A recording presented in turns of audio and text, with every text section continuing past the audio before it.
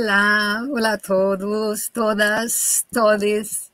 Sejamos muito bem-vindos. Estou feliz neste momento. É feliz e contagiada pela fala de ontem de Felipe falando. Vamos desfrutar de nossa formação. Vamos viver o presente de ser artistas. Vamos viver nosso tempo livre.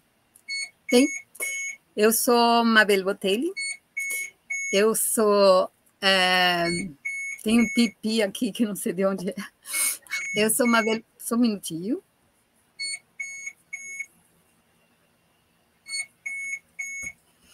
Eu sou Mabel Botelli, eu sou da UFRJ, é, professora dos cursos de dança e também é, sou. Ai, meu... Vocês estão ouvindo esse pipi? Pipi, pipi. Coisas do ao vivo. Aqui, Desculpa, um golpe. Agora se acalma.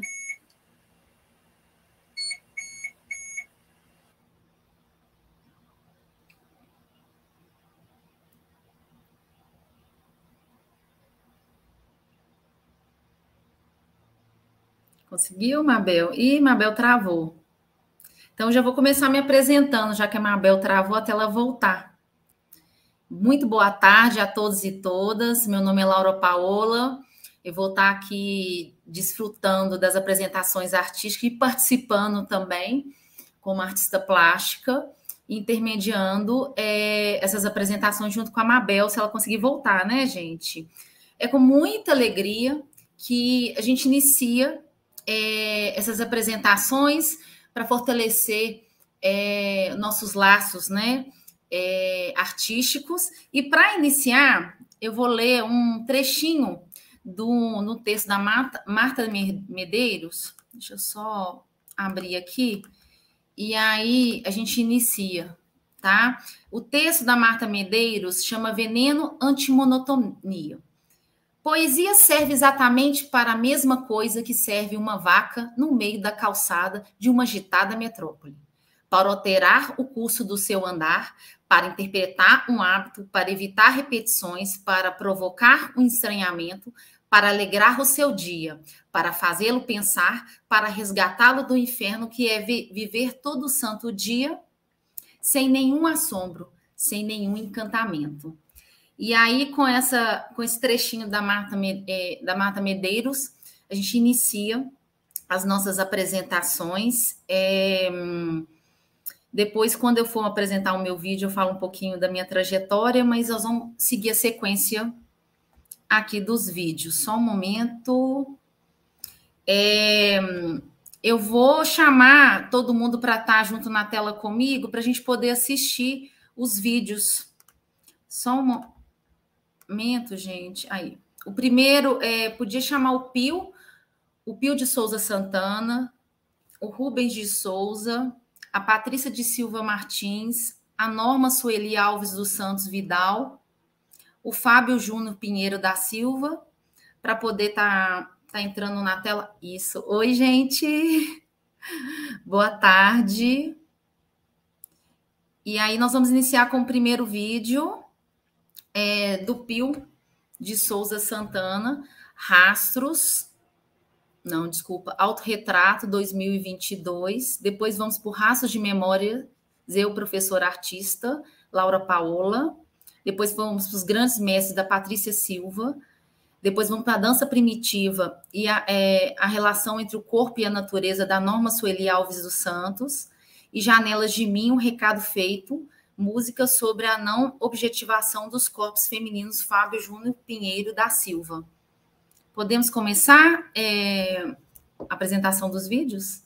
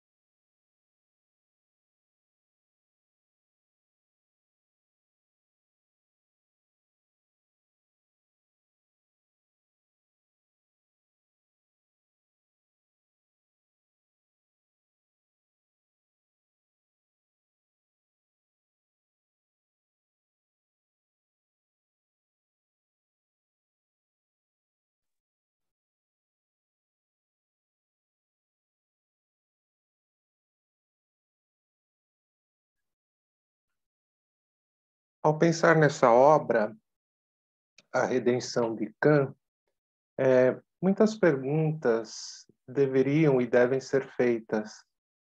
O, quais foram as representações existentes no período da formação do Brasil colonial? O que significam essas representações? De que forma nós, professores, analisamos tais representações. É, estas representações ultrapassam os tempos e chegam na contemporaneidade. Então, a releitura deste trabalho é, com o título Releitura da Redenção de Kant tenta trazer tais provocações.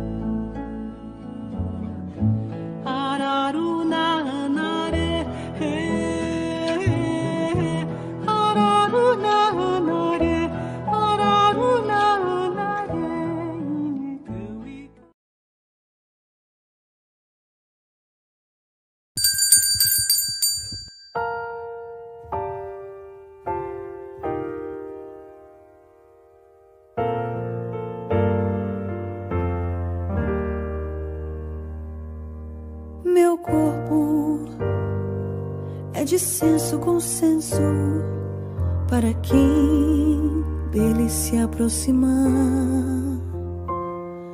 Meu corpo é um templo onde habita o silêncio que não cabe a tua opinião feito oração. Olhe bem onde bota a mão, tenha mais noção.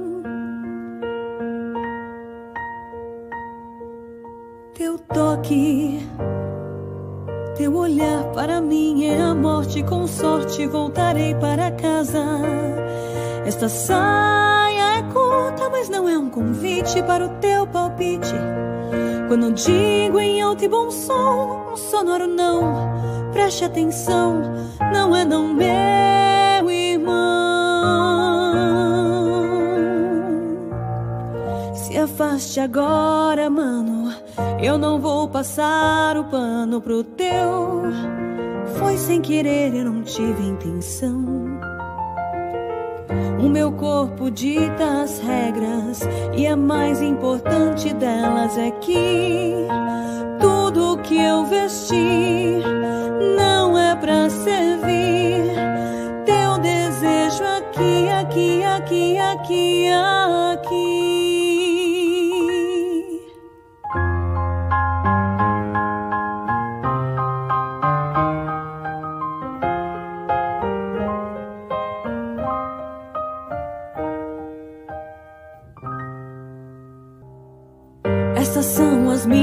Janelas para poder abrir todas elas assim. Tente entender, são janelas de mim. Pra olhar aqui pra dentro, tem que respeitar o momento. Impossível quem não compreenda. Sim é sim, não é, não me entenda. Homem, qual é o teu problema? Não aguenta um fora, que pena, enfim. Quando um não quer, dois não tem mané. Respeite a voz da mulher. Meu corpo é janela fechada, trancada. E só abro quando eu quiser abrir. Quando eu permitir.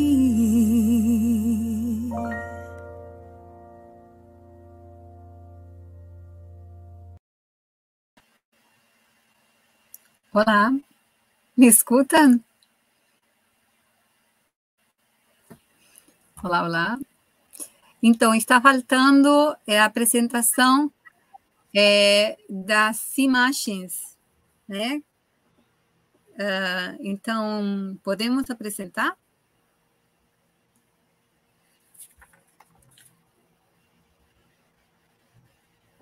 Isso.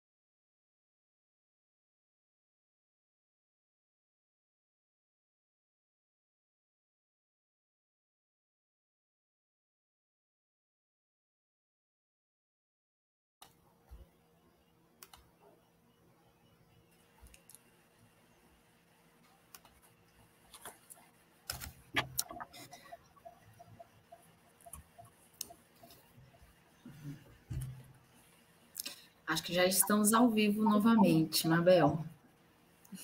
Estamos? Não estávamos? Estava, estava apresentando, né? A última, é, ficou faltando as imagens é, das obras, né? É, uhum. Não sei se a gente passa a, a, a apresentação. O que, que você acha? A apresentação já foi falada, já foi feita. Agora, agora, Laura, é para é, apresentar a Pio, tá? Você dar a abertura dele, o nome do trabalho e a fala para ele, os 10 minutos. Pio. Está tá sem, sem voz, Pio.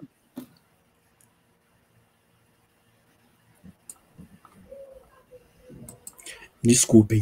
Olá, boa tarde a todos, todas e todes. Eu sou, como já foi dito, o professor Pio Santana. Eu sou artógrafo e trabalho nas seguintes instituições eh, de ensino superior.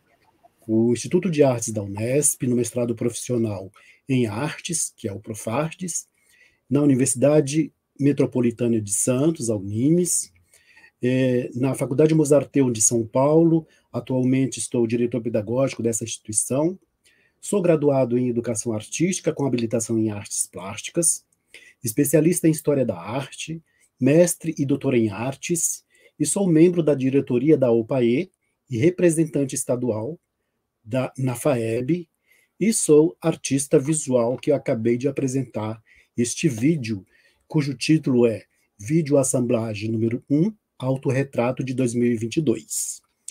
É, esse trabalho pertence a uma série iniciada em 2021. É, em 2021 eu fiz 53 vídeos, né? É, essa série ela é pensada para ser veiculada em aparelhos de telefones celulares, né? Ela aborda elementos da arte atual de meu interesse, né? E do ponto de vista da forma, é o meio artístico do campo do audiovisual, pelo qual eu encontro eco que formate em, frag em fragmentos, e especificamente nesse vídeo, com duração de 1 minuto e 55 segundos, é, mostro é, meus perspecto, perceptos e as. Estou gaguejando.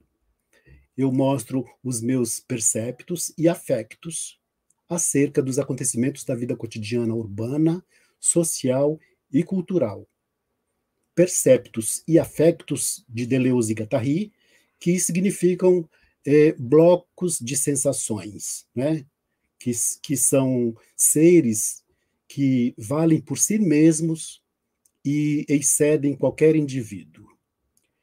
É, a formatação de, vídeo, de videoassemblagem número 1 um, adere ao conceito de pós-produção de Bourriot, uma vez que eu me aproprio de imagens captadas por mim mesmo, de imagens também encontradas em outras mídias e ressignificadas, como os Red de Marcel Duchamp, de Marcel Duchamp, mesmo porque a arte contemporânea, na minha perspectiva, bebe na fonte de Duchamp.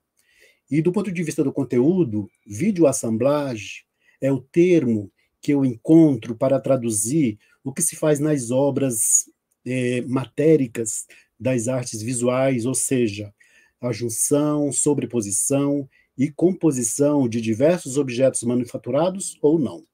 E neste caso, eu me aproprio de diversas imagens em movimento que nos remetem ao conceito de estética relacional de Bourdieu e na relação com o universo da minha própria vida. Não é?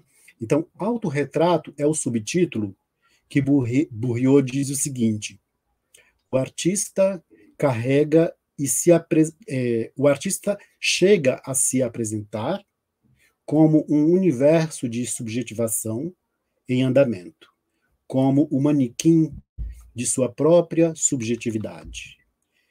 E nesse sentido, esse trabalho número um diferenciará outras versões numeradas de videoassemblagens vindouras.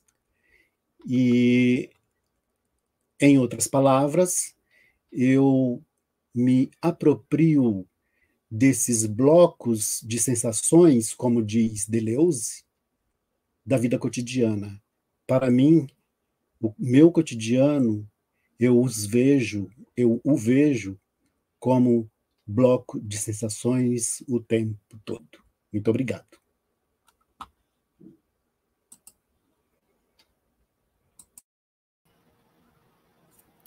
Obrigada, Pio Santana, por suas colocações.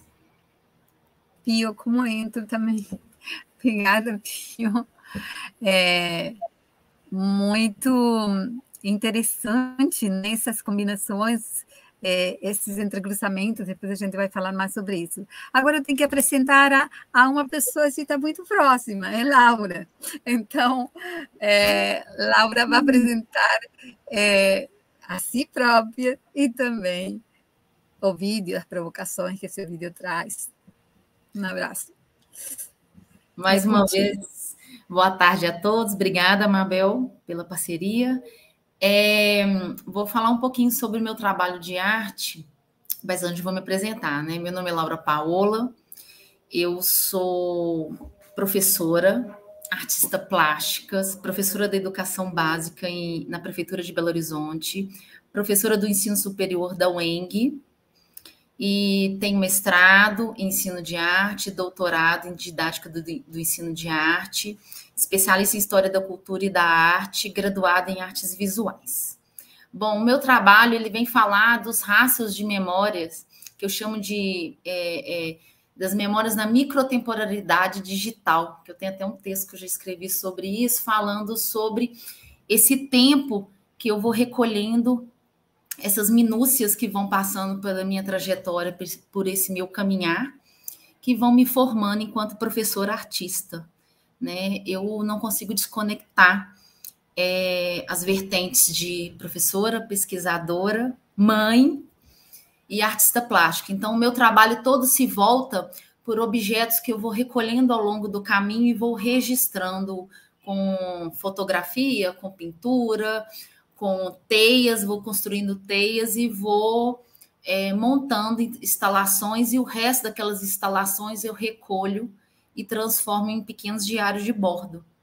Então, meu trabalho ele fala muito de um, de, de um tato, de uma sensibilidade com o outro, de me relacionar com o outro e como isso afeta, como eu sou afetada por esse outro né? E então, assim, muitos dos restos que eu recolho são de oficinas que eu produzo ou de, de momentos que, que eu perpasso, né?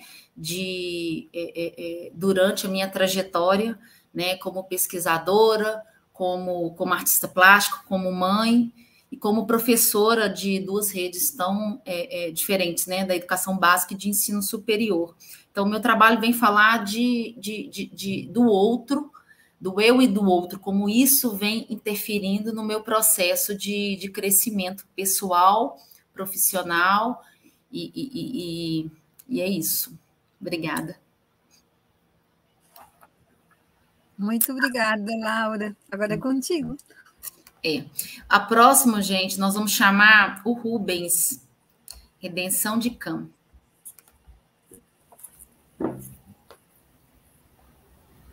Olá, vocês me ouvem? Sim. Sim. Olá, é, muito obrigado pela oportunidade. Meu nome é Rubens. Eu sou homem negro, de pele um pouco mais clara, cabelos pretos curtos, uso óculos. Estou com bastante blusa porque eu estou em São Paulo, no município de Santo André, e aqui está frio. É, eu estou no encontro entre duas paredes, de um lado azul, de outro lado madeira, e atrás de mim tem uma tela de minha autoria, né? É, a redenção de Khan ela surge de um trabalho que eu criei em 2020, que é este envelope em acrílico denominado sem remetente não chega. Dentro desse envelope de acrílico, você observa uma bala de revólver, né? Neste ano, no, no, no, estado do Rio de Janeiro, nove crianças encontraram as balas perdidas.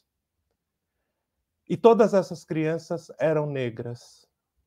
A partir disso, então, eu fiz esse trabalho e depois, ah, na sequência desse trabalho, elaborei também é, uma releitura é, da obra A Redenção de Cã, é, de Modesto Brocos, eu gostaria que depois você acessasse esta tela, que é de 1895, que ela serviu é, é, de apoio para João Batista Lacerda, no Congresso Universal das Raças, em 1911, onde existia uma tese é, é, inconsistente de que haveria um branqueamento dos negros aqui no Brasil.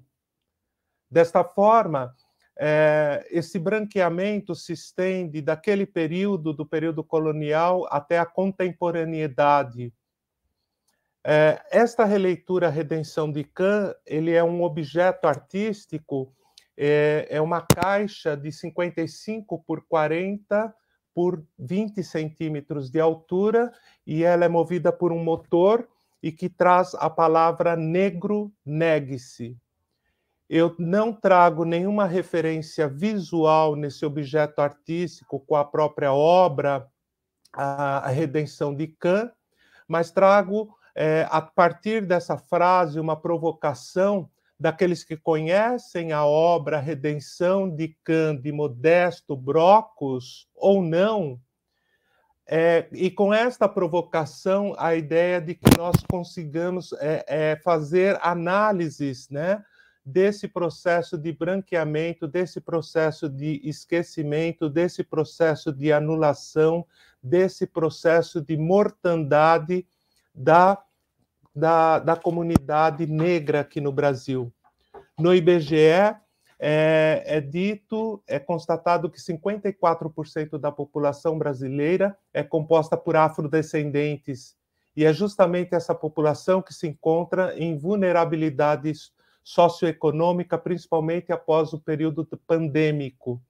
Desta forma, eu, enquanto professor na educação básica e no ensino superior, na Universidade Unimes, é, tenho travado diálogos com, constantes e provocações com objetivos de nós revermos essa questão do racismo estrutural, que afeta principalmente a mulher, as crianças, os homens negros, colocando-os em vulnerabilidade social.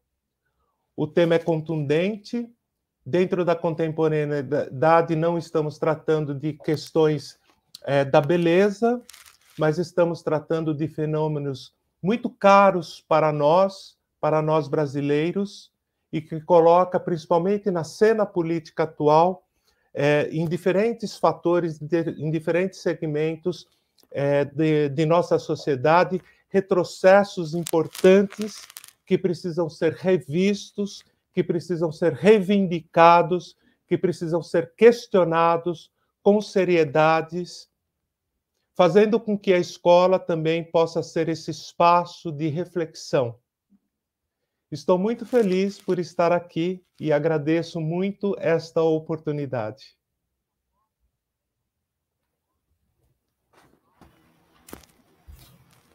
muito o que você fala. É, e agora, a gente vai fazer a continuidade da ordem que a gente tinha, que era grandes mestres. Sim, pode ser? As grandes mestres, que é com Patrícia de Silvia Martins. Tudo bem, Patrícia? Boa tarde. Boa tarde. Prazer estar com vocês hoje, nesse sábado. Bom, é, eu sou de Pirapozinho, interior de São Paulo. Sou professora da rede estadual e privada, né, ministro a disciplina de arte. É, sou mestranda no mestrando profissional do Instituto de Artes da Unesp, né? E eu trouxe esse trabalho Grandes Mestres, que eu acho que tem tudo a ver com a proposta, né, do Congresso, políticas públicas, né? E ética e estética da arte. Então, essa, essa exposição, Grandes Mestres, ela aconteceu em Presidente Prudente, no ano de 2017. E aí eu trago essa pequena mostra, né, de 10 trabalhos. É, quando eu fiz a exposição eram 36 obras. E assim, a ideia que seguir bons, bons exemplos, né, mirar-se em ideais divinos, é o mais é mais do que necessário nos dias de hoje, né? Na atmosfera de emoções conturbadas em que a gente vive, é, frequentemente encontramos as pessoas em crises, depressões e anseios, né? Que não condiz com a nossa natureza divina. E sempre houve, né, na Terra, grandes seres que jamais se contentaram com os conceitos, respostas pré-fabricadas moldadas, né, e sem profundidade. Essas grandes almas, né, de diferentes níveis espirituais, eh, expressaram o conhecimento universal em distintas épocas e culturas, ensinando sempre os mesmos princípios, né, ainda que revestidos com roupagens diferentes. Então eu reuni, selecionei alguns trabalhos, né, é, o que eu trouxe aqui foram 10, é, buscando também, assim como sou professora, né, não dá para a gente desvincular, né? Então, eu sou professora, sou artista plástica, e aí eu pensei nessa exposição tanto para trabalhar a temática dessas pessoas, né, que muitas vezes nasceram em situações bem complicadas e não desistiram, né? Encontraram uma forma de, de resistir, é, de lutar, né? E, e, trabalhar também a questão das técnicas, né? Aqui onde eu moro são poucos os espaços destinados à cultura, à arte. Então a ideia também é a, dar oportunidade para que meus alunos pudessem ter uma relação com várias técnicas, né? De pintura, é, pastel seco, sanguíneo, carvão. Então buscando trabalhar a técnica e a temática. Acho que era isso, gente.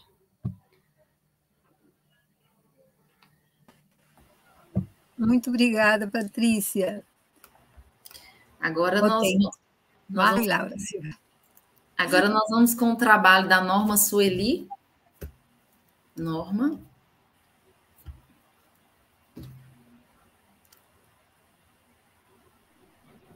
Olá, boa tarde. É, eu sou Norma Vidal, eu falo do norte do país, né? Eu falo de Belém do Pará. Eu sou graduanda em licenciatura em dança, e esse trabalho ele foi fruto de uma pesquisa onde foi é, o objetivo foi é, sair de dentro da sala de aula, onde nós temos os espaços assim, bem formais, né, na linguagem da dança, e das academias, procurando um espaço é, que tivesse relação com a natureza. Então, a questão principal foi se era possível desenvolver um trabalho, uma linguagem corporal fora do ambiente né, tradicional e relacionada à natureza. É, foi feita uma pesquisa de movimentos, pesquisas de música, aí, dentre as músicas é, indígenas que nós temos aqui no norte do, do Pará, é, foi escolhido da, da etnia Paranacã, que é a música Araruna, ela foi adaptada por uma cantora lírica, então a gente já vê um contraste entre a música indígena, um canto indígena, trazendo para uma linguagem mais erudita, que a, a cantora ela busca essa erudição na música. Eu escolhi, é, entre os vários é, locais que nós temos aqui no Pará, eu escolhi uma praia de água doce, que é uma, uma praia que de rio que nós falamos aqui, que fica na Ilha do Mosqueiro. Então, o objetivo principal foi sentir a música, explorando todo o espaço, explorando a natureza, as águas, o, a areia né, do local. Então, os movimentos praticamente foram inspirados nas artes é, rupestres, que são artes bem antigas, da dança primitiva, e movimentos indígenas e movimentos também de animais. É, nós trazemos também, né, durante essa pesquisa, é, a expressão livre em relação à natureza.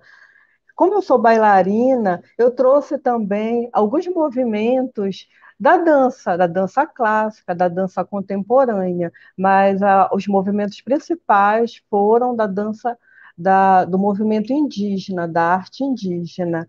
E a partir do laboratório que foi feito, foi feito esse vídeo e que foi apresentado é, durante práticas disciplinares, né, dentro do curso de dança, e foi visto que realmente nós conseguimos trazer a dança para fora dos espaços formais. Então é isso, eu agradeço a oportunidade, boa tarde.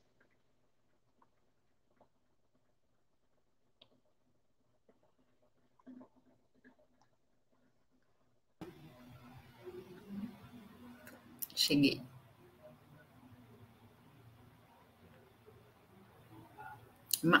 Mabel, seu áudio não está ligado. Pronto. Vamos assistir. Olha, vamos assistir o último vídeo, Janelas de Mim, um recado feito, música sobre a não objetivação dos corpos femininos, de Fábio Júnior Pinheiro da Silva e Juliana Marcondes Bussolotti. Fábio, seja muito bem-vindo.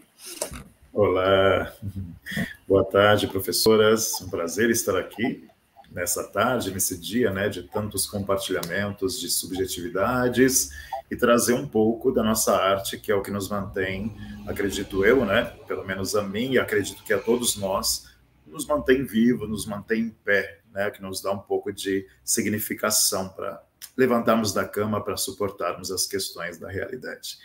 Então, o que eu trouxe para vocês aqui, para a gente compartilhar juntos, né, é uma espécie de licença poética é, que eu sou Fábio, né? Sou Fábio Pinheiro, estou falando da capital, da cidade de São Paulo. É, eu sou um homem branco, porém de pai negro, mãe branca, ou seja, brasileiro com essa mistura. Tenho questões indígenas também na família, como todos nós brasileiros, né? Tenho cabelo crespo, um pouco grisalho. Estou usando uma, um óculos de armação preta e branca nas laterais. Tenho um pouco de barba também. E por questão de frio, né? Nesta cidade de São Paulo, na capital, estou usando blusa não é como gorro assim, atrás e atrás de mim uma parede é, em tons de um rosa bem clarinho, né? Portanto, eu falo aqui da cidade de São Paulo. Eu trouxe para vocês um registro em áudio. Eu sou ator, a minha formação é em teatro. Dentro do teatro já fiz diversas coisas, diversas questões, tanto como ator, dramaturgo, enfim. Daí sou músico também, eu sou instrumentista, eu sou cantor lírico também e sou compositor, né? É, dentro das artes eu acabo tendo aí um leque, né, na verdade, de atuações, porque sempre me interessou bastante a pesquisa, sobretudo o estudo, né? Tenho licenciatura em música também, sou professor de teatro e de música, atualmente eu trabalho nas fábricas de cultura, é, é, um programa né, da Secretaria de Estado da Cultura aqui de São Paulo, né, que está radicado aí nas periferias da cidade de São Paulo. Eu atuo né, como professor, portanto, dessa instituição, mas também trabalho em núcleos de terceira idade, é, desde, né, então a minha atuação é bem ampla, desde com, com crianças até né, com terceira idade. Então, eu levo essas duas questões paralelamente, tanto a minha atuação como artista, necessariamente, como ator, como músico, né, mas também como professor de artes no ensino não formal, já também atuei no ensino formal, então esse sou eu é, necessariamente. É? E tenho algumas especializações, eu trabalho com educação especial, né? eu sou tradutor e intérprete de Libras, é, sou também educador de surdos, trabalho com surdos cegos também, estou terminando uma, uma especialização e sou mestrando no mestrado profissional em educação da Universidade de Taubaté, não é? Que está sendo, eu estou terminando, estou no meu segundo ano já, encaminhando ali para análise de dados, para qualificação, enfim, pesquisando. E o que me interessa bastante é essa intersecção, essa aproximação entre música em artes, não é? E as deficiências como um todo. E neste recorte, neste trabalho especificamente, né, que apresentei para vocês, é uma música composta por mim, né, mas que traz uma mensagem aí direcionada aos homens, né? Não sei se vocês puderam perceber, eu como homem fazendo uma letra falando sobre corpos femininos, sobre a objetificação desses corpos, né, e trazendo uma reflexão para a gente que essa objetivação ela tem muitas implicações para isso, né? A gente está falando de um dos países que mais matam mulheres, né?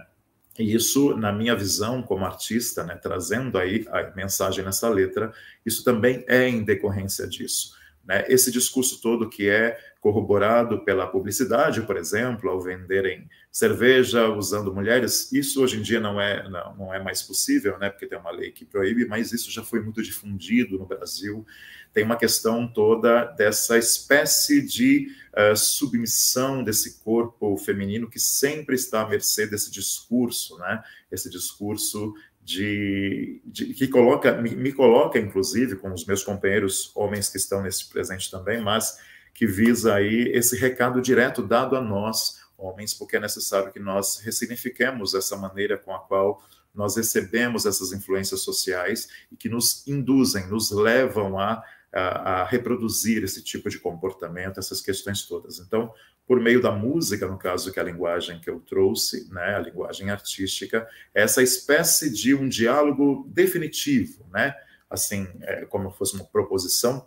de uma mulher, o eu lírico da minha canção, é uma mulher conversando é, definitivamente com todos os homens e quando eu digo mulher, também estão as mulheres trans, né, porque também estamos um dos países que matam mais LGBT, que ia mais, enfim, tem todas essas questões. Então, essa letra é, esse, é essa espécie de uh, desabafo definitivo, dizendo para todos os homens que basta disso, né, basta dessa objetificação, o meu corpo é, tem regras, né, e, e quando é, eu digo não, a mulher, no caso, é não mesmo, né, e muitos homens às vezes precisam entender isso, né? Esse corpo sendo violado de todas as formas, né? É, seja socialmente em todos os lugares, né? E, e, tendo realmente essa imagem como corpos que são menores do que os homens dentro dessa sociedade patriarcal que vivemos. Portanto, é uma espécie assim de exercício da minha parte como compositor e artista de um, uma licença poética realmente. Eu não sou mulher, mas é como se eu nesse exercício empático, me colocasse no lugar dessas mulheres todas, de todas as mulheres, inclusive as trans, gostaria de marcar bastante isso, para é, pensar em como esse diálogo definitivo, essa proposta, talvez, né? A gente sabe que isso tá muito, tem muitas camadas, não é tão simples de resolver esse problema, assim como outros problemas tão complexos, mas que pelo menos por meio da arte nós possamos aí refletir, né? E eu como homem fazendo esse exercício de como seria né, essa mulher dizendo: olha, é, não é bem assim, as coisas funcionam de maneira diferente, então, portanto, basta disso. E quem sabe com isso, nesse exercício utópico, mas ao mesmo tempo esperançoso e com muita esperança, que essas questões todas elas sejam resolvidas. Bom, esse vídeo, é, essa canção, na verdade, ela veio primeiramente, né, ela foi composta no ano de 2021, e ela fez parte, esse vídeo, uma, eu chamo de vídeo instalação, alguma coisa assim, porque vocês viram que tem a participação de uma atriz, de mulher, portanto, né? E essa atriz, inclusive, gostaria de marcar, porque não somente nessas questões do corpo trans, do corpo da própria mulher, tem os corpos com deficiências também, que é a minha causa de luta também na educação, e eu falo bastante sobre isso nos meus trabalhos, né? É, esse corpo dessa atriz que faz parte é um corpo surdo, é uma mulher surda, oralizada, não sinalizante, portanto, mas é uma mulher surda, que eu fiz questão de trazer para essa discussão, porque esse vídeo ele fez parte de um ciclo de conferências e debates sobre gênero e sexualidade realizado na minha universidade, onde eu estou mestrando, na Universidade de Taubaté, realizado no mês de agosto de 2021. E esse vídeo ele foi apresentado, né, um deles, na verdade, eu, eu também colaborei com outros, porque foi um convite das professoras doutoras Liliane Bodignon, né, que é a professora doutora do programa de pós-graduação, e da professora Luciana Magalhães, não é? Que são duas professoras que trazem, têm disciplinas no mestrado, né, sobre diversidade, porque a linha de pesquisa onde eu estou mestrando é diversidade e inclusão. Então elas trazem bastante essas questões, não é de sexualidade, de gênero e também de deficiências, porque é a linha que eu escolhi, é a linha que eu atuo pesquisar. Então, eu colaborei com esse, esse mais dois vídeos, né? É, e ele, então, portanto, contextualizando para vocês, fez parte desse ciclo de conferências sobre gênero e diversidade no mês de agosto de 2021, portanto, ano passado, e eu fiz questão de trazer aqui porque é, acredito que seja aí uma mensagem, uma contribuição para mim mesmo, inclusive, para o meu próprio crescimento, esse exercício para a gente pensar nas pequenas ações que a gente faz no dia a dia, nas cotidianidades, né, sobre essas questões é, problemáticas que nós temos ainda de objetificação de corpos, né, e, e, pensarmos sobre de que forma, por meio da arte, nós podemos aí, é, finalmente ou inicialmente, né, é, depende do contexto, diminuirmos, tanto quanto possível, é, essa visão de que o país mata muitas mulheres, infelizmente, é, e mulheres trans, e as mulheres com deficiência, os corpos com deficiências, enfim, dentro aí dessa análise, né, é, dessas categorias aí é, transversais e tudo mais, que a educação tem, acredito eu, essa responsabilidade de trazer a discussão, trazer a baila, que também precisam estar nas nossas criações. Então, o meu recorte, mesmo sendo ator e músico também, foi o recorte com a música, que eu quis compartilhar um pouco com vocês, e o meu muito obrigado por isso. Muito precioso, muitas lutas aqui abertas, né, para partilhar e para se juntar. Parabéns, Fábio. É, e agora a gente vai abrir né, para um espaço de diálogo entre vocês e também é, vamos é, esperançar que também pessoas de fora possam entrar com a fala delas, com as questões delas para esta roda né, de troca, de conversa, de partilha. Então, fica com vocês. Será que todos podemos estar na roda, Igor? na roda retangular, na roda de janelas? E vou começar, vou começar falando aqui um pouquinho então dos trabalhos que, que me provocou, que me trouxe é, é, algumas questões a, da norma, né? É, essa dança me provocou muito sagrado, sabe, Norma? a música me envolveu muito, em, que eu já tinha visto o seu trabalho anteriormente, né? É, então me provocou muito em relação a esse, esse sagrado, sabe? É, então fiquei muito instigada a conhecer mais sobre essa pesquisa, porque é, é, é me remete muito ao, ao, ao sagrado, ao sagrado íntimo de cada um, né? É, eu também queria partilhar que por muitos anos eu fiz pesquisas com adolescentes e adultos levando para a natureza. É um mestrado, o nome se chamou Corpo Natureza. Então, foi assim.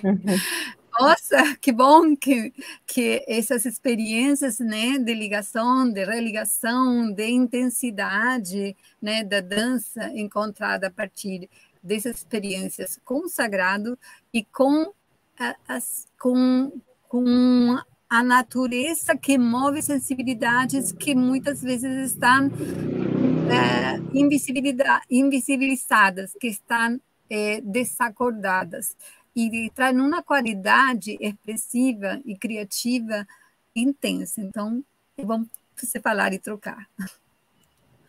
Essa música da, da dança, né, que eu pesquisei, ela é uma música que ela remete também muito à, à questão do sagrado, porque ela pergunta, cadê a arara azul, que é a araruna? Então, ela é minha, de quem é essa arara? Quer dizer que o homem, o que é que ele faz hoje? Ele afasta né, as coisas que são boas, que são os animais da floresta, ele mata, ele acaba com a, com a natureza. Então, a música também ela traz essa, esse canto né, para repensar o que nós estamos fazendo né, com a nossa natureza. E para mim foi uma experiência assim, muito gratificante fazer esse trabalho. E outro ponto que eu queria falar que também assim, me provocou muito foi a obra do Rubens, porque eu vi várias vezes o vídeo, na verdade, Rubens, e voltei, voltei de novo. Eu falei, gente, é, não precisava nem da sua explicação no final, sabe, Rubens? Porque a obra por si é, só já fala muito dessas questões sociais e políticas. Se mostrou essa bala aí dentro do, do acrílico, eu fiquei extremamente incomodada e, e, e, e, querendo contemplar mais essa imagem. Eu acho que a gente perde muito quando é online por conta disso, porque falta esse contato, né? Mas esse, o vídeo do, do negro, a, a fala que ela fala, eu achei a, a, a é, assim de, um, de uma sensibilidade para tratar de um tema tão importante né? Inclusive, eu quero até depois conversar com você se você tem interesse de dar uma palestra lá na, na universidade, na UENG, é, porque esse semestre estou com uma disciplina né, que trabalha culturas éticas raciais e trazer é, artistas para falar desse tema que é tão importante com propriedade como foi o seu trabalho, eu acho de muita importância, mas depois nós vamos conversar, tá bom? Se tiver interesse, né? Lógico, lógico. Obrigado, né? Eu, eu me sinto honrado e agradeço mais uma vez, né? É, mas isso, isso decorre de algumas investigações que eu venho fazendo sobre o darwinismo, darwinismo social, né? Que são as teorias é, raciais que nós tivemos aqui, que colocava o homem, a hegemonia branca masculina e super rica, e que esta hegemonia está muito presente hoje em todos os setores, em todos os segmentos sociais, principalmente aqui no Brasil, né? É, são esses homens brancos, super ricos, né? Que determinam muitas coisas é, do nosso fazer, da nossa conduta, da nossa postura, da nossa forma de enxergar e que per, é, perpassam pela mídia, como o Fábio mencionou aí, né? conduzindo, refazendo pensamentos, olhares rasos superficiais e atenuando esse racismo estrutural que está em nossa sociedade, fazendo com que esse homem, essa mulher, essa criança negra que recebem as balas, que recebem o desemprego, né, das políticas públicas inexistentes, como, é, como foi a lei trabalhista é, promovida por Michel Temer naquele período, né, que coloca o, tra o trabalho intermitente, que coloca a uberização em vários segmentos, que coloca a, a, remuneração só por aquilo que você faz, né? Então são questões e que coloca também, né, é, é, é, toda toda sorte de empresariado, de, de lógica de lucro para a educação, tanto a educação no nível superior, quanto a educação básica, travestida de BNCC, novo ensino médio. E, e que, portanto, nós te, temos que rever tudo isso, repensar tudo isso, né? fazendo, é, não admitindo isso com, com passividade, questionando, discutindo é, é, no chão da escola, com o aluno, com os pais de aluno, com a sociedade. Isso é muito importante. E levar esses trabalhos artísticos, levar o artista para dentro da escola também é muito importante. Então, Laura, eu estou completamente à disposição naquilo que eu conseguir ajudar você e seus alunos. Eu queria. Hã? Pode falar, Mabel, porque eu estou falando demais. eu queria trouxer também um, um pedido a Pio é, para abrir um pouquinho esses entes que estão no vídeo, compartilhar mais as escolhas que você fez, decir, é, que estão né, entre umas e outras aparecendo, entrelaçando-se. É, conta um pouquinho dessas escolhas, o que é você dentro do vídeo. Pois é, esse, esse vídeo cujo título eu quis colocar mesmo de autorretrato, é, é algo que diz muito sobre é, as minhas as minhas pesquisas acerca da minha própria produção artística, né? Assim, acerca do que me interessa enquanto arte. É, eu sou muito inclinado por elementos da própria arte, sabe? E é, e eu penso que isso vem desde a infância.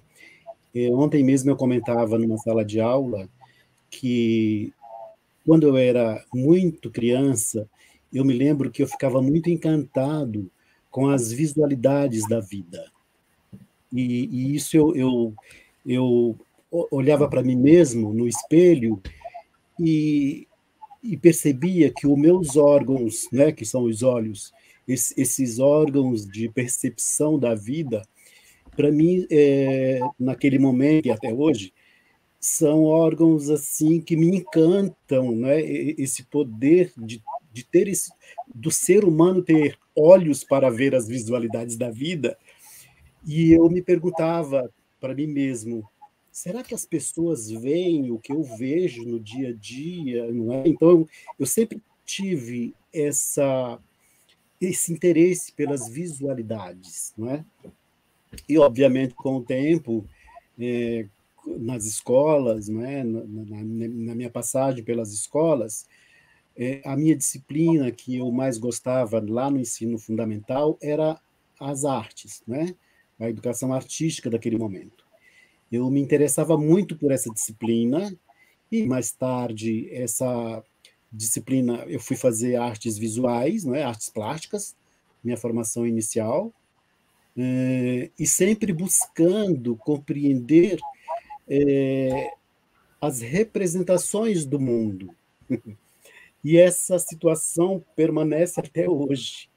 De modo que esse autorretrato, que eu, essas escolhas de, especificamente desse vídeo que eu trouxe, é, traz questões sociais, né, culturais. É, não sei se vocês percebem que ali tem imagens de índios, não é? Tem imagens minha numa situação de, de, de mediação de conhecimento, é, onde eu estive recentemente levando é, professores na Pinacoteca, fazendo uma mediação com eles. É, tem situações do próprio cenário onde eu gravei aquele, aquele vídeo, esse vídeo, que é uma, é uma passagem de um shopping aqui em São Paulo, né, na Zona Sul. É, então, assim, quando eu entrei naquele lugar do shopping, eu, eu pensei comigo, mas que coisa incrível, eu tenho que gravar essa situação, porque o tempo todo eu fico gravando as coisas do meu cotidiano. O meu cotidiano me interessa, então essa, por isso esse entrelaçamento de imagens constantemente. Os outros vídeos do ano passado têm essa mesma perspectiva, mas com outros, com outros títulos, né? às vezes só numerados. Por isso o nome assemblage, né? porque é, eu, eu, eu, tenho especialização, especialização em História da Arte e eu gosto muito é, dessa, desse meio artístico que é a assemblagem, que é, é, é, o meio pelo qual o artista junta, não é, num mesmo espaço, vários elementos, não é, de acordo com os seus desejos e, etc. e tal. Então, é, é o meu cotidiano que me inspira. É, é, são recortes do meu cotidiano que eu vou compondo ali nos vídeos e, e assim sempre tomando cuidado de ser um vídeo curto, não é? Para ser veiculado em aparelhos de telefone celular mesmo, por conta de ser um trabalho numa perspectiva dos meios artísticos, contemporâneos. E por conta disso ser imagens em movimentos, não é? Então, assim, é, eu saio com o carro e o meu celular já fica preso ali atrás, na frente do espelho, do retrovisor, na minha frente, porque o meu celular vai captando as minhas imagens do meu cotidiano e depois eu faço, então, todo um, um, um recorte, né, me apropriando né, dessa, dessa situação de, de, de imagens prontas também da internet. Né? Então, é uma, é uma grande colagem. É, é, é esse é o meu interesse né, por arte. E pela uma pergunta, vida... Eu vi dança em teu vídeo. Eu vi dança no sentido de, claro, me move dança. Me pergunta é, você colocou dança ou você me fez viajar para minha dança? Que ótima pergunta. É, às vezes eu capto imagens que, quando eu coloco no vídeo, eu também descubro, não é? Então, é, a, a, as leituras que você fizer, para mim, são maravilhosas, porque é, eu não sei responder essa pergunta sua. Eu penso que é uma obra aberta a diferentes interpretações, leituras. Eu tenho um exclusivamente que tem dança, tá lá no meu no meu é, no meu Instagram, porque esses vídeos eu veiculo tanto pelo meu é, YouTube, meu canal no YouTube, e também no canal que eu tenho é, no, no Instagram. Os do ano passado tem uma que é uma bailarina dançando no meio de um trânsito que eu, eu gosto muito. Enfim, mas é, eu penso que quando você olha e vê ali dança, eu penso que existe sim. Eu acho que você está coberta de razão. Quem sou eu para discordar da sua leitura e das suas, e das suas sensações, como eu disse no texto, né? dos perceptos e dos afectos que o Deleuze traz como sendo é, blocos de sensações que independem de mim. Eu produzi o vídeo, o vídeo está veiculado, ele independe do meu desejo, do que eu quero que as pessoas vejam. Ele é um bloco de sensações para a humanidade. Independente da sua leitura, o outro pode ler como vendo aquilo sendo um bloco de sensações que te afeta de um jeito e que você percebe de um jeito e que ele também te percebe, não é? Uhum. Então tem essa essa hum, perspectiva de ser uma obra aberta a diferentes sensações. Poder ser convidada a dançar também. Tudo bem. Mas, é. É, inclusive, eu acho que a sua obra, eu já, já fiquei pensando em outra coisa. Falei, gente, essa colagem, né, que é muito interessante, né? Num túnel, sabe? Essas representações, a gente caminhando por esse túnel com essas colagens. Mas é, agora eu vou falar um pouquinho da obra do Fábio. É, vou falar de, de, de, sensações em relação a, ao, ao que eu senti é, em relação ao vídeo. Primeiro é de não ver, porque me, me, me causa um incômodo, né, por ser mulher. E, e, e, é isso também, né? Acho que tem essa coisa de, de incomodar, porque a gente ainda vive no século XXI, ainda passando por essas mesmas coisas, né? Como o, o tema do Fábio também, né? Impressionante, ainda no século 21.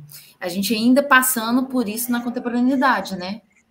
Então, assim, é, é muito complicado isso. Então, assim, eu custei a ver o vídeo.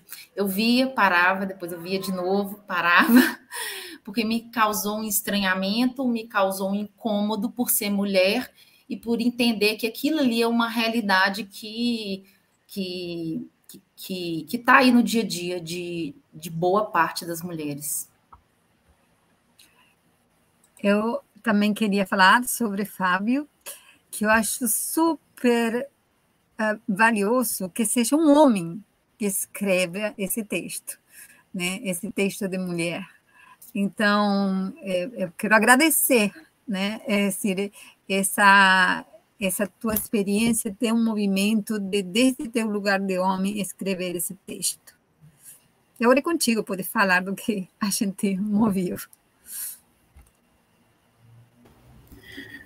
É isso mesmo, né? Essa, eu acho que assim como falar de racismo hoje em dia, né, que o professor Rubens traz essas questões, é uma respons... É, e é um discurso, né, que ainda bem, no meu ver, está crescendo, né, que falar de racismo não deve ser uma responsabilidade somente das pessoas negras, porque é, e perpassa a nossa história, a nossa realidade, tudo isso e de modo que negar, né, que esse passado complexo que tivemos e que é, ainda trazemos marcas muito profundas na atualidade, na contemporaneidade, nessa questão do racismo, eu também acredito que seja urgente da mesma forma que nós homens também falemos sobre essas questões.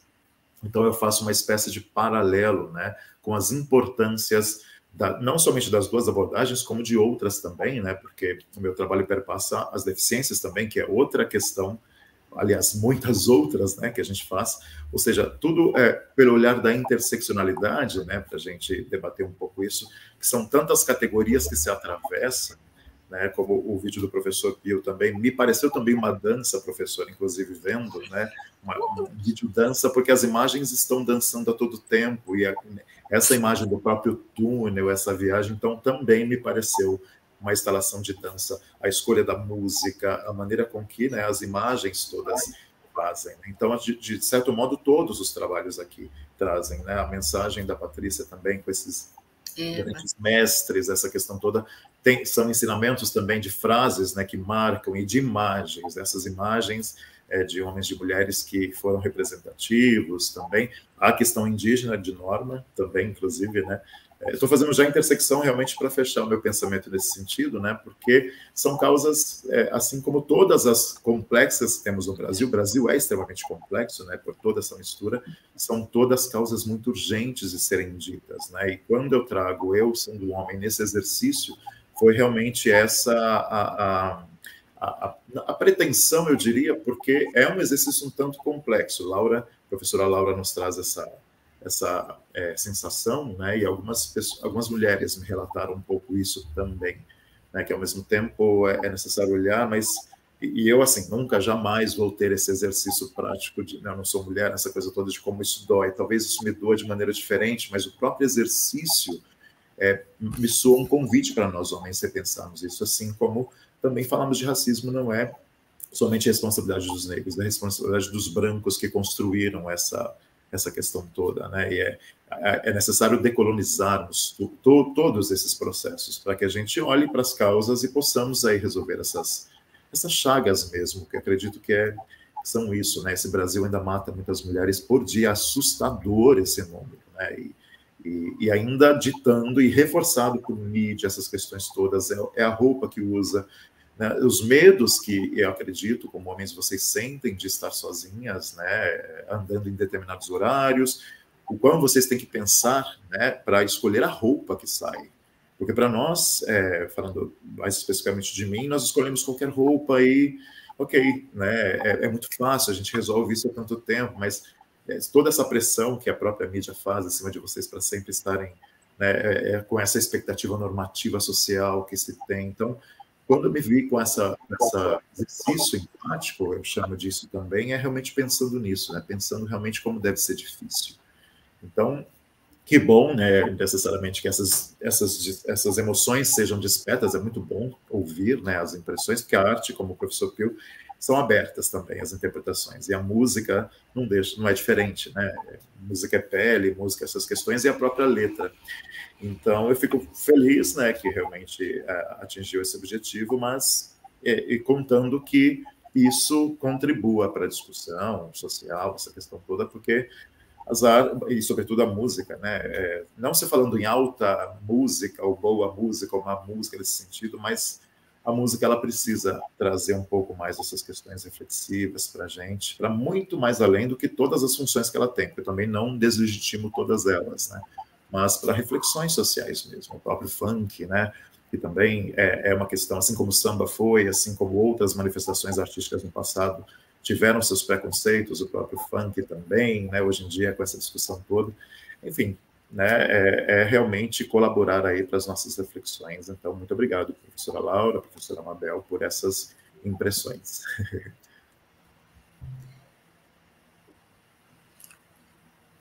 Nós temos também o trabalho da Patrícia, né, Patrícia? Com essas uhum. técnicas que vem nos prestigiar com essas técnicas variadas, com muito primor, viu, Patrícia?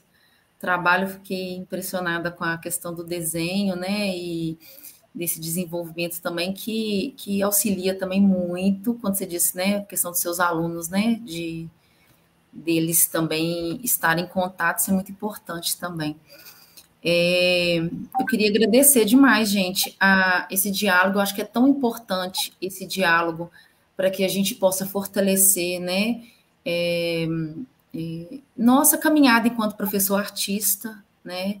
É, eu, eu acho que a gente é muito julgado em relação a isso, porque é, já fui muito julgada em relação a isso, né? De ser professora e artista, né? E, e hoje eu tenho muito orgulho de desenvolver o trabalho que eu desenvolvo a partir do que eu vivencio mesmo em sala de aula, a partir do que do que, do que essas vivências vão me trazendo e, e, e desenvolvendo, porque é, não existe né, um, um ensino onde, se, é, onde, não, é, onde o sujeito não se encontra, né? Então, a gente, a gente não tem como fazer algo é, desconexo da nossa realidade, né? Então, é, de algum autor que eu não estou me lembrando o nome, tá, gente? Essa fala não é minha, mas é, então, eu acho de extrema importância essas reflexões, esse diálogo, que cada vez mais esses diálogos possam estar aí, para a gente que possa refletir cada vez mais sobre cada trabalho. Eu estava pensando aqui, enquanto vocês estavam falando, de como esses trabalhos dialogam entre si, né? De como, é, de certa forma, to, é, é, um, é, é, um, é um circuito, né? Então, como que, como que é rico, né? Falei demais Não. de novo professora. Não, eu, ele se complementa, né? Ele é como se eles estivessem se encontrando para fazer uma algo completo, né? Algo que preenche tudo. Patrícia também, assim, é, é trouxe o sagrado para a arte, para que é, nem quem esteja perto, nem quem assista, quem veja, quem seja estudante, possa ser movido pela arte para esse lugar, né? E possa é, o sagrado entrar desde a arte também. Ó, é um forte caminho. continue por aí. E, um, gente, eu queria, assim, porque eu caí, né? Eu, eu, eu caí, papaflá, tem um pipi, depois desapareci. Então, eu queria contar um pouquinho de mim, se não tudo, não, mas eu, eu sou professora da UFRJ, dos cursos de dança, por isso eu vejo dança por tudo quanto é canto, entenderam? Então, a gente tem três cursos e eu estou, e a gente luta muito. É, e minha, meu doutorado, gente, foi em psicossociologia. Mas, assim, minha intenção é, foi ir, assim, é, entrar na psicologia para defender a dança, para é, buscar as forças da dança. O tema que eu defendi é, é, é é teia rendada a criação coletiva em dança, né? Rede, rendada, rede rendada, teia rendada, criação coletiva em dança. É, acredito sim na força. Estou aqui com um presente que me deram, rendado de rendas brasileiras, né, a partir desse, dessa pesquisa. É, e eu acredito e eu defendo o coletivo e a força que a gente tem por esses entrelaçamentos, por esses encontros, por esses encontros diferentes. Acredito que o coletivo não se faz por encontro das semelhanças, e sim ganha força, especialmente por encontro das diferenças. E essa foi meu minha tese. E aqui estamos, nesse lugar que somos diferentes, e nesses encontros ganhamos a potência de estar em comunhão, juntos, se nutrindo um com o outro. É isso se vocês me permitem, é, eu, é, nesse meu olhar para as imagens, eu olhando aqui a telinha, eu tenho vontade de pegar um pouco desse, dessa tela e colocar num próximo dos meus vídeos, se vocês permitirem, não é? Ah. Mas o que eu também acho que temos aqui em comum é, é, é a questão do corpo enquanto corpo que, que está relatando situações é, é, sociais, é, os nossos trabalhos, um pouco que é, tem essa coisa comum do corpo, não é? Todos nós aqui trouxemos o corpo como como veículo, não é, de, do, do nosso, do, do, das nossas buscas e, e, eu achei é, que, que é o fio aqui que, que nos unem, né, é o corpo. Né? O, o Fábio trouxe o corpo, a Patrícia trouxe corpos, eu trouxe corpos, o Rubens trouxe corpos, mas de modo simbólico, né? A Norma então trouxe um corpo incrível, né? Dançando. Eu penso que no meu vídeo tem sim dança, tem índios dançando. Agora que eu estou aqui me recordando, então assim, é é, foi um grupo que realmente fez uma bela de uma costura, não é? E pudemos aqui compartilhar dos nossos retalhos, dos nossos olhares para a arte, para a arte educação e para a vida, né? Laura, podemos estar. Alguém quer falar um pouquinho mais? Se não, a Laura e eu Vamos fechando esse tempo. Podemos, Laura, contigo? Tava sem som. Agora que eu consegui, estava travado. Bom, é, nós estamos caminhando para o final, né? É, queria agradecer a participação de todos, a troca. É, sai com o coração aquecido é, que renova as energias, né? Esse tipo de discussões, esse tipo de debate. E é isso, é só agradecer mesmo a participação de todos nesse encontro. Agradecer a Mabel e ao Igor, né, que estão nos bastidores nos auxiliando. Laura, Sim, desculpe, eu... desculpe, eu não citei o seu trabalho, mas o seu, o seu trabalho também, não é? Traz a questão do corpo, agora você fala do Verdade.